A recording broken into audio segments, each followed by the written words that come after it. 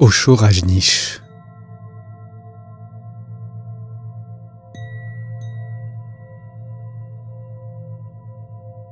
Parole de silence.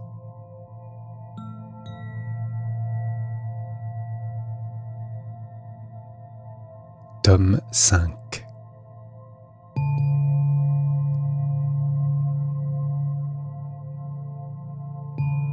En rencontrant un ami, soyez pleinement présent. Qui sait, vous ne le verrez peut-être plus jamais et regretterez l'occasion perdue.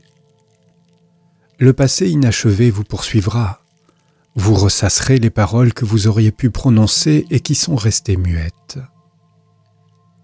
Un jour, votre ami mourra et vous pleurerez en pensant ⁇ Je l'aimais ⁇ et ne le lui ai jamais dit.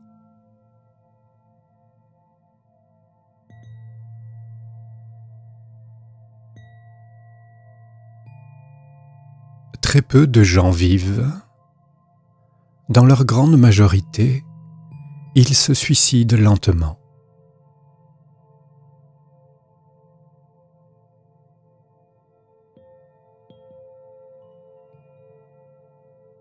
Prêtez attention à vos rêves. Ils révèlent ce que vous négligez dans la vie. L'homme qui est réellement présent à tout moment ne rêve plus. À la fin de la journée, rien ne lui reste sur le cœur. Tout est intégré. Il se couche sans indigestion et n'a plus de matériaux pour fabriquer un rêve.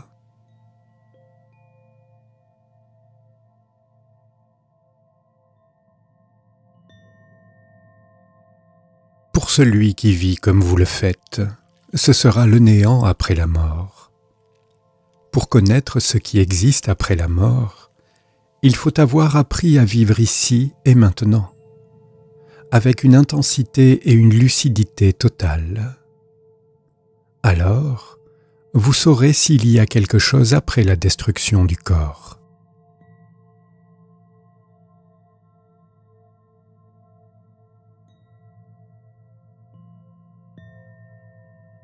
Concentrez toute votre énergie sur l'ici et maintenant. Soyez dans le moment présent, pleinement conscient. Alors, vous vous sentirez vivant. Pour moi, une telle vie est synonyme de Dieu. Rien n'est divin si ce n'est la vie.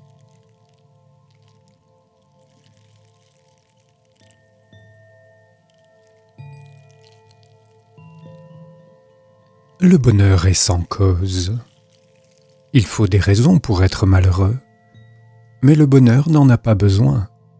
Cela va tout simplement de soi. Être joyeux et content est dans votre nature. Le bonheur se suffit à lui-même. Vivre est tellement beau. Que vous faut-il de plus? Pourquoi attendre une raison d'être heureux?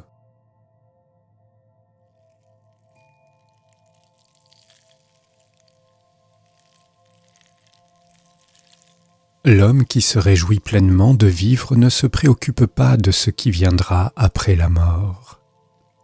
Ce qui lui échoit dans l'instant est tellement immense qu'il ne peut rien imaginer de plus.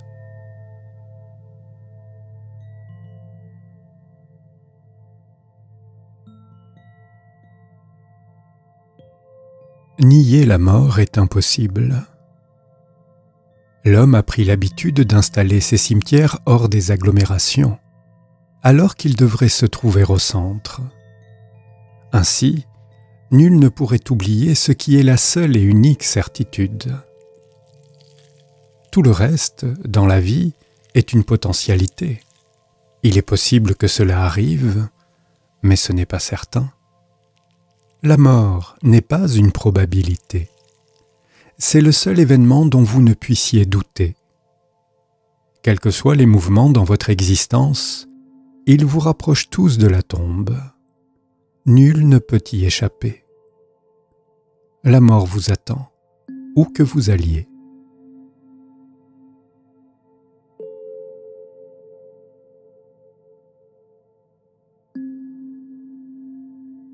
Je déclare que l'expérience la plus significative dans l'existence est la mort. Je ne dis pas cela parce que j'ai quitté la vie et suis revenu pour vous en parler, mais parce que je sais qu'en état de méditation, vous accédez à la même sphère que celle de la mort. En état méditatif, le corps est transcendé. Vous n'êtes plus captif de votre physiologie, de votre biologie, de votre chimie ou de votre psyché. Tout cela est laissé loin derrière vous avez rejoint l'intime profondeur de votre centre réel, qui est conscience pure. Cette intelligence ne succombera pas lors de votre mort, car rien ne peut vous l'ôter. Tout ce qui peut être perdu est délibérément lâché dans la méditation. C'est l'expérience vivante de la mort, et c'est indiciblement beau.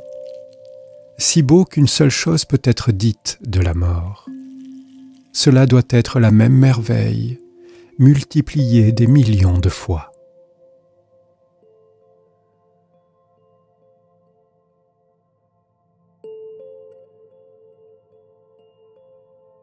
L'existence reste telle qu'elle est. C'est nous qui apparaissons et disparaissons. Le temps ne passe pas. C'est nous qui venons et partons nous avons inventé une mécanique qui nous fait croire que ce n'est pas nous qui passons, mais le temps qui fuit. Cette mécanique, c'est l'horloge. Réfléchissez. S'il n'existait pas un seul être humain sur cette planète, le temps passerait-il? Tout serait là, l'océan et ses marées, le soleil et sa course dans le ciel. Mais il n'y aurait ni aube, ni crépuscule. Le temps et ses divisions, projections du mental humain, n'existeraient pas. L'idée de temps est impossible sans les notions de passé et de futur. La réalité présente n'en fait pas partie. Pour celui qui existe simplement, centré dans son cœur conscient, il n'y a pas de temps.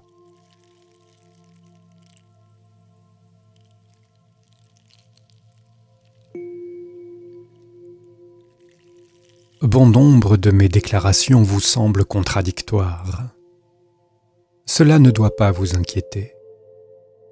Ce que je dis en ce moment est ce qu'il fallait dire, et ce que je dirai demain sera la vérité à ce moment-là. Les dernières paroles que je prononcerai sur mon lit de mort seront la dernière vérité, et en attendant, ne tirez aucune conclusion. Je suis vivant, et ne suis en rien tenu par le passé.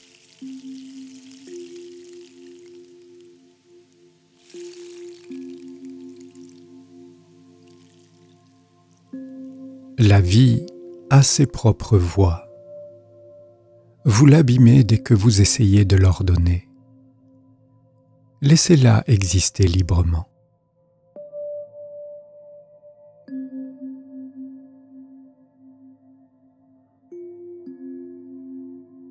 L'univers n'est pas fait de noms, mais de verbes. Le nom est une invention humaine, une fiction à but utilitaire. L'existence est pleine de verbes. Vous n'y trouverez aucun nom, aucun pronom. Comprenez bien. Voici une rose. Dire que c'est une fleur est inexact car elle n'a pas cessé de fleurir. Elle est florissante, en train de fleurir, c'est un processus, un verbe. En l'appelant fleur, vous en faites un nom. Prenons le terme rivière. Il ne correspond pas à la réalité qui est s'écouler. Et ainsi pour toute chose. La réalité est un mouvement, un renouveau ininterrompu. À chaque instant, l'enfant est en train de devenir un jeune homme, qui se transformera progressivement en vieillard. La vie se métamorphose en mort, et de la mort jaillit la vie. Il n'existe qu'un changement perpétuel, un continuum. Il n'y a nulle part de halte, de point final, sauf dans le langage de l'homme. L'existence est sans commencement ni fin.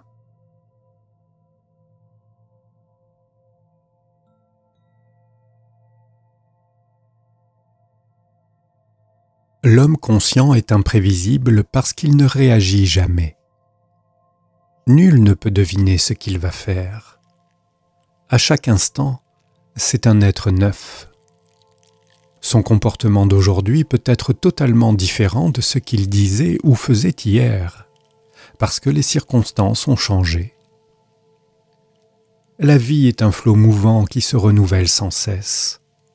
Rien n'est statique dans l'univers à l'exception de votre inconscience et de vos réactions stéréotypées.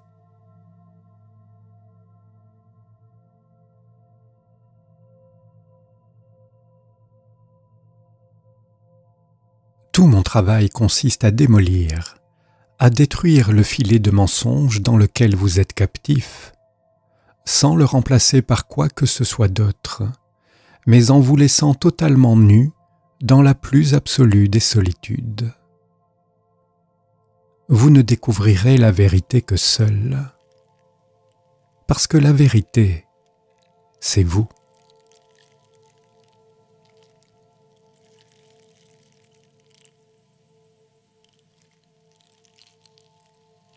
Dans la vie, tout est momentané, précaire, et c'est parfait ainsi. La vie est exaltante, extatique, parce qu'elle est faite de moments éphémères. Immuable, elle serait sinistre.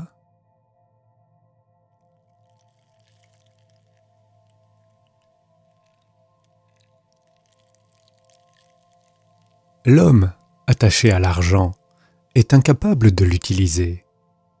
Il détruit le sens même de l'argent. Pourquoi dans toutes les langues du monde parle-t-on de monnaie d'échange, du cours du change et ainsi de suite? Parce que l'argent doit s'échanger, courir, bouger. Plus il circule rapidement, plus une société est riche. L'avare est en réalité hostile à l'argent. Il en annule l'utilité en l'empêchant de circuler.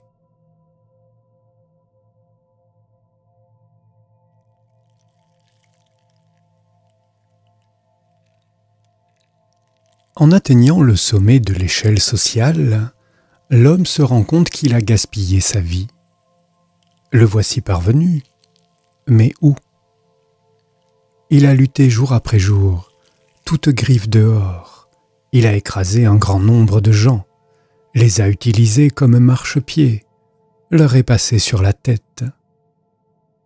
Mais qu'a-t-il gagné au terme de son ascension? Il a perdu sa vie, et n'a pas le courage de le reconnaître. Il préfère sourire et entretenir l'illusion. Ainsi les autres continueront de croire qu'il a réussi.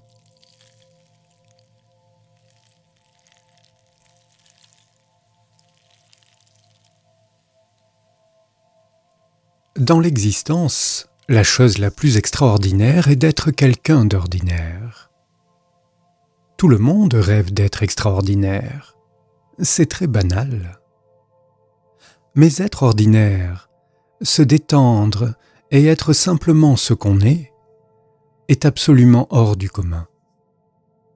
L'homme qui accepte ce qu'il est sans se plaindre ou revendiquer, et se réjouit d'être tel qu'il est parce que cela fait partie de l'existence, est invulnérable. Où qu'il aille, le contentement l'accompagne.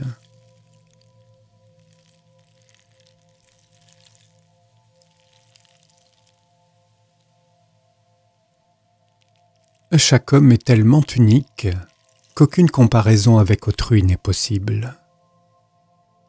Cela ne signifie pas qu'il est supérieur ou inférieur, mais simplement que tout le monde est unique. Personne ne peut être mesuré à l'aune de quelqu'un d'autre. La rose est parfaite en tant que rose, et le lotus est au fait de sa gloire en étant un lotus.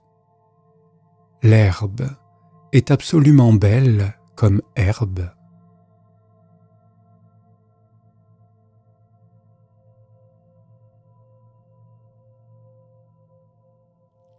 Vous ne pouvez pas progresser sur la route des autres. Avancez et tracez votre propre voie en marchant. Ne croyez pas que des chemins vous attendent et qu'il vous suffit de les emprunter. C'est impossible. Votre voie se crée sous vos pieds et elle n'a de sens que pour vous. Ne l'oubliez pas. L'oiseau dans le ciel ne laisse aucune marque. Après son passage, le ciel est aussi pur qu'auparavant. Tous les oiseaux peuvent voler, mais chacun accomplit son propre vol.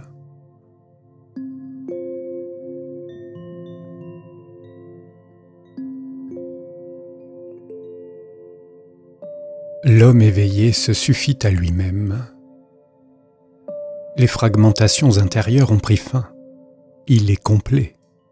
Il est un. C'est l'intégration profonde qui fait de l'homme un saint.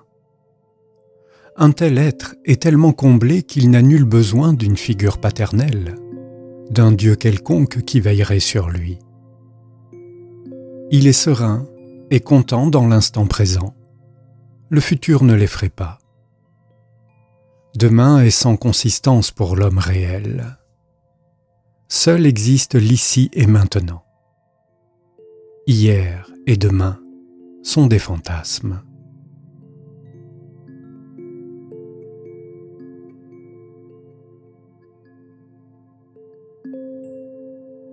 Accueillez votre solitude, acceptez votre ignorance, assumez votre responsabilité et le miracle aura lieu. Un jour, soudain, vous vous découvrirez sous une lumière toute nouvelle. Vous saurez qui vous êtes. Ce jour-là, vous naîtrez vraiment.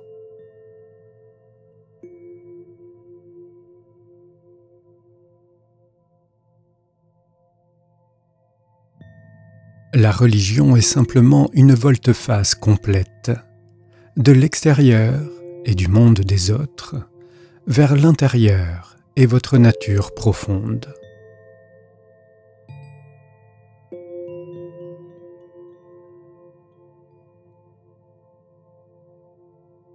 L'éveil signifie être inondé de lumière, de conscience.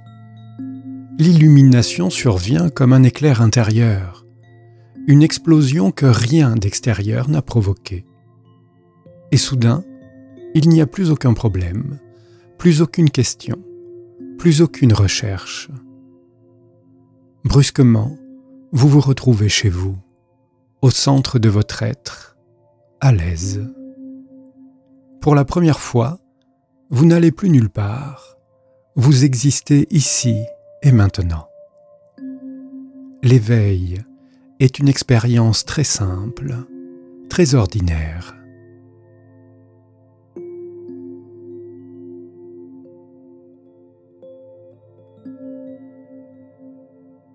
Si vous contemplez encore et encore votre propre existence, vous trouverez le point à partir duquel vous vous êtes perdu et où vous avez troqué votre être réel contre une personnalité superficielle ce sera le moment de l'éveil, car l'ego s'évapore sous le rayon du cœur conscient.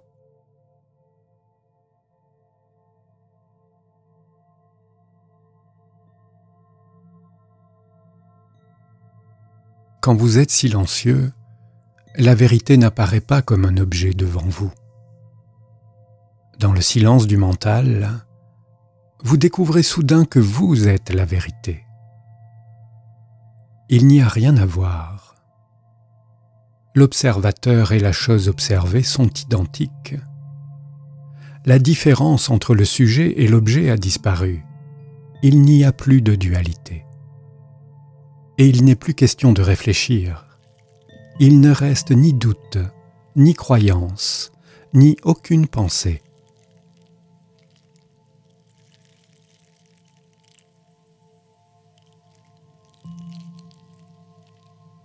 prendre conscience qu'on rêve met fin au rêve.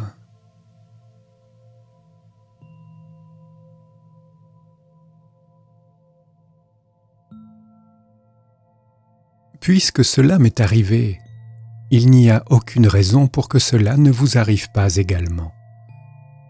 Je suis un homme ordinaire, comme vous. Si un homme ordinaire peut s'éveiller, tous les hommes ordinaires peuvent le faire. Vous devrez peut-être partir d'un angle un peu différent, utiliser une autre méthode. Peut-être mettrez-vous un peu plus de temps. Peut-être le versant de la montagne que vous devez gravir est-il plus ardu. Mais vous y arriverez.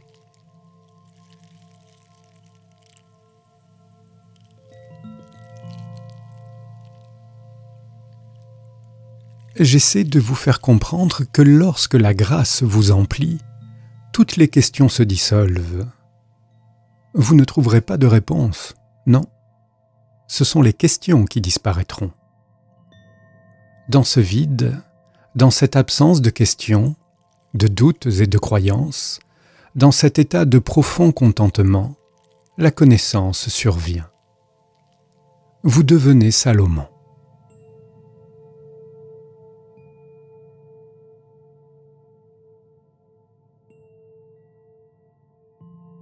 Retenez que seule votre propre expérience vous appartient.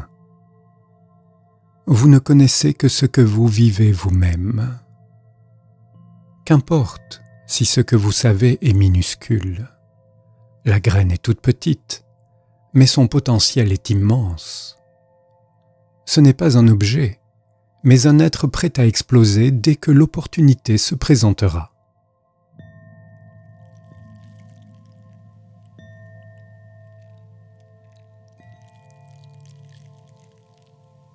Appelez cela méditation, conscience, intelligence profonde, qu'importe, ce ne sont que des mots. La qualité essentielle est le silence absolu. Aucune pensée n'agitant votre esprit, aucune émotion ne remuant votre psyché. Dans cet état, vous êtes Dieu.